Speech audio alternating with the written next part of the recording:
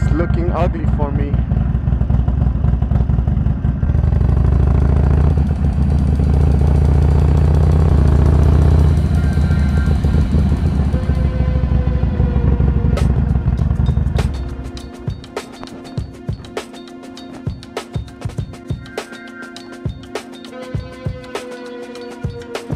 Okay, shift in progress.